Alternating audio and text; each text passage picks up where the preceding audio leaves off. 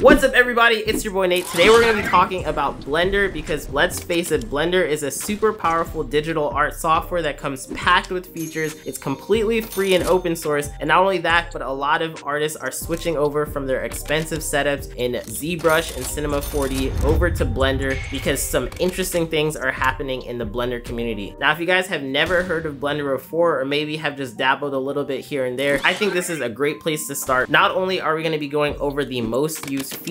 We're going to be talking about reasons why artists are switching over so you can really hone in and understand whether or not this software is going to be worth it to you. Anyways, I'm super excited. I know you are too. All right, let's go.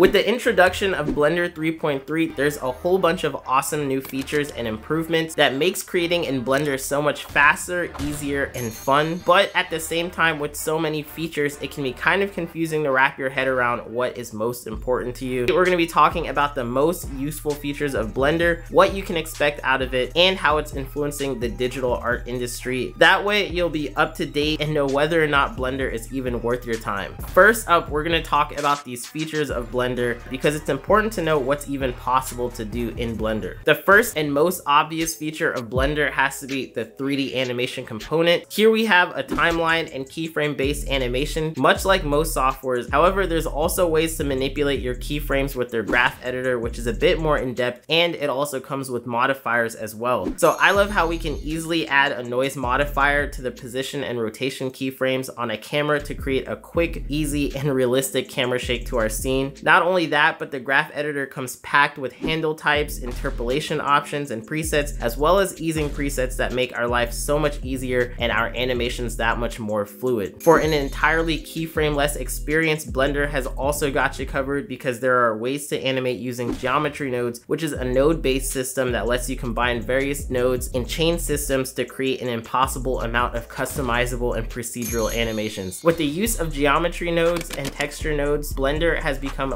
of the most powerful softwares for its node setups because artists are then able to create different node trees that allow them to do unimaginable things in other softwares. Take for example this creation using a node tree setup that allows someone to use a grease pencil to draw on vegetation. Honestly, this is just the tip of the iceberg because I've seen creators do some amazing and awesome stuff using nodes right within Blender. One feature of Blender that definitely deserves to get talked about is their grease pencil. Now, grease pencil is a tool in Blender Blender that I think is super unique and powerful in that it lets you draw in 3D space so you're able to create 2D styled animations that are actually three-dimensional and it creates some of the most impressive looking works that I've seen. Not only does it let you make 2D animations, but it also lets you create cutout animations and motion graphics or even just use it as a storyboarding tool, which is pretty impressive. Now, when used in combination with their line art tools, you can really create some amazing 2D looking animations that actually have a bit of depth and realism to them in 3D space. This is just really awesome to play with and I definitely think Grease Pencil is one of the most interesting features of Blender. Next we have simulations. Now creating simulations is an important part of many animations. Blender is very very comprehensive especially with their cloth based simulations and particle simulations that allow you to create a bunch of different effects. Not only that but there are amazing add-ons that were created by developers for Blender such as Flip Fluids which brings together a whole lot of awesome Um, simulation tools such as creating liquid simulations that look super realistic, provide things like wet maps and a whole bunch more. So this is really awesome to see. And I really love the fact that we can get from simulating to rendering to adding in all these camera and compositing techniques all within one software. So simulations is definitely something fun in Blender. Blender is also pretty capable at 3D modeling. Blender comes equipped with comprehensive modeling tools and out the gate there are the tried and true box modeling methods such as vertex and edge modeling as well as a slew of modifiers that will help you create effects and looks, whether that's adding smooth edges with subdivision surface modifier or cutting shapes with booleans, as well as using mirror modifiers to create perfectly symmetrical shapes. There's just a whole bunch of awesome features and modifiers that help you get to creating interesting models right within Blender. Just take a look at some of these models that were entirely created using Blender. Whether that's architectural visualizations or characters, the possibilities seem endless and once we get into the add-ons, oh boy, does it get crazy. Next, we have 3D sculpting. In addition to traditional 3D modeling, Blender has been gifted with 3D sculpting tools. 3D sculpting tools allow artists to manipulate 3D objects much like they would clay, and Blender comes packed with a bunch of tools that are super useful, such as their clay brush tool, pinch, flatten, and many, many more. Now, even though we're in Blender 3.3, sculpting is relatively new, so there's definitely room for improvement. However, I've seen more and more artists switching from ZBrush, which is a super expensive software made by Pixologic. It was originally used for Gears of War and a whole lot of movies as well. However, they're making that switch from ZBrush to Blender, not because it's free, but because it is really nice to have one software in your workflow rather than transition your assets from one to another and having to worry about all these different steps along the way. What's really cool is that once you sculpt in Blender, you can actually get right into lighting and rendering and rigging without having to switch softwares at all. Now, ZBrush is still considered the king when it comes to 3D sculpting, but from my own personal experience, I'd say that Blender is very much capable and a flexible queen if we're sticking with chess analogies. I personally started out on ZBrush, but I switched to Blender because I loved the workflow and about 90% of the time, I actually didn't really need the extra ZBrush sculpting features. Also, surprisingly, switching to Blender was not as tricky as I thought it would be, and the learning curve of that was definitely much easier than it was to hop into ZBrush and understand how that one works. Next, we have 2D animation. Now, I am super impressed with the 2D animation tools that come with Blender. For a while, I was doing my 2D animation in After Effects after switching from Flash, but that required me to buy a $100 plugin just to have some very basic animation tools right within that software. Now, Blender came along and just completely crushed it because they provided all the features that I missed and more. So one of the really awesome things is that they have a very comprehensive onion skin, keyframe manipulation tools, as well as the introduction of stroke layers, which has been super awesome. And I'm really impressed with how feature rich their 2D animation toolset is in Blender, especially for being something that is completely free. This is one of those elements of Blender that I didn't really expect them to invest in, and yet I'm super glad that the developers spent a lot of time and effort to make sure that this came out right. Okay, here we're getting into rendering, which has to be another huge reason as to why a lot of people are switching from Cinema 4D to Blender. That's because Blender comes equipped with two really powerful rendering engines. The first one being Eevee, which provides almost real-time rendering. You can kind of think of this similar to a game engine like Unreal Engine in which you're able to preview your animations and your models and lighting all in real time. Now, of course, there are a couple of features that you're not going to be able to use when you're doing a real-time rendering such as in Eevee. And that's why Cycles comes around and fills in those gaps by providing things like global illumination and brilliantly beautiful ray traced lighting. The awesome thing about rendering in Blender is that it tends to run super fast, utilizes your graphics cards efficiently, and they're always providing updates and improvements to make it really stand out. On top of that, you can also use some really interesting node tree setups to improve your rendering and composite it all within the software. So this is super impressive and I'm really inspired to see where Blender is going to take it in the future. So Blender also features a bunch of tools for compositing, which can really help take any render that you've done in the software to a whole nother level. Using a comprehensive node setup, you can easily make one render have a bunch of different looks without really adding too much time to the post-processing or rendering phase. I've seen a bunch of artists really utilize compositing to their advantage to make something that looks super interesting and unique right within the software of Blender, which is one of the most awesome and powerful things about it. We absolutely have to talk about this feature as well in Blender, which is their video editing and VFX tools. Now on the surface level, their video editing is not gonna challenge the likes of Premiere Pro. However, when you take a look at their VFX components, such as motion tracker, camera tracker, and plane tracker, you can definitely see that there is a huge use case for them when comparing it to something like After Effects. The beauty of these tools is that they let you create VFX shots without having to leave the software at all. And for the most part, if you're looking for something that requires 3D tracking or replacing images and doing some sort of in painting, you can actually do that all right within the software. And you have a beautiful set of nodes that are gonna help you make that process easier. There definitely is a long way to go when it comes to their VFX tool sets, but at the same time, out the gate for a free software, it is pretty powerful and impressive to use. Next, Blender does not stop there because it actually has scripting tools as well. So you can write your own scripts right within Blender, which is something that I've normally only seen in stuff like Unity or Unreal Engine. So it's really nice to have a set of scripting features right there in Blender. Now, I personally do not use scripting too much for any of my works, but different artists have found it to be helpful for them, and that's probably why they find scripting in Blender to be such a useful thing. And last but not least, Blender is completely open source, which is a huge factor as to why I find it to be so successful today. The reason for this is because not only does making their software open source and free help the community of artists, but it also helps the community of developers because Blender has one of the most comprehensive, diverse, and passionate set of developers that are constantly pushing the boundaries of what's possible with Blender by creating their own add-ons and exchanging them on places such as Blender Market for everyone to use. And the support for add-ons is just so crazy because I don't see this happening in any other 3D software at all. There's nothing that even comes close to what's possible using Blender Market add-ons, such as this one for Blender, which creates procedural materials right there in the software, or even this one, which lets you import all the assets from Polyhaven. There is just a whole sea of awesome possibilities thanks to the fact that Blender is open source and free and allows developers to create whatever they want for the software, which is just mind-blowing and really inspiring to see. Not only that, but I think more and more 3D softwares are going to be trying to create their own communities because they found just how powerful it is when you have an awesome community of artists and developers working together all on one goal, which is making a software as powerful as it can be. Another thing to keep in mind is that Blender is constantly getting updated, so the developers are always working on ways to improve the software, add in new features, and always improve on some of the things that they've done in the past, whether that's making the UI a little bit better or making the features that much more easier to use, as well as improving rendering and processing times. So I don't know what you're still doing here. If you guys are still curious as to what you can make, I guarantee you're gonna wanna check out this video because there are so